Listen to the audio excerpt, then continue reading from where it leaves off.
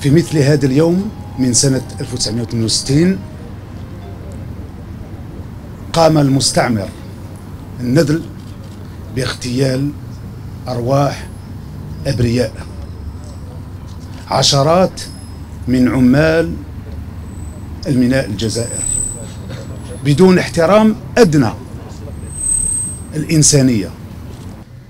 نستحضر ذكراهم اليوم من أجل شيء واحد من أجل الحفاظ على الأمانة.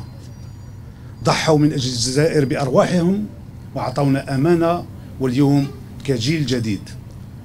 المطلوب منا صيانة الأمانة باش نكون خير خلف لخير سلف.